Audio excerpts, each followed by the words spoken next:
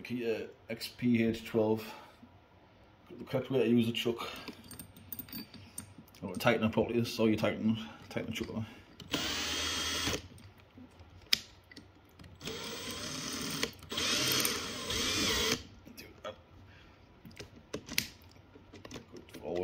Forward, up. Turn all the way left till it clicks. Don't turn it back so it'll click again. That's, that's unlocked. That back, back, unlocked. Forwards lock. Keep that.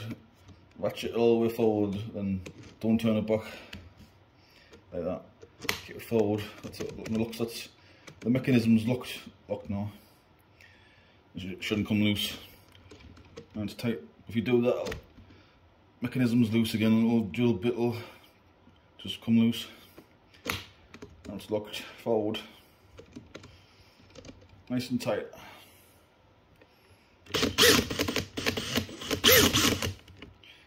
There we go.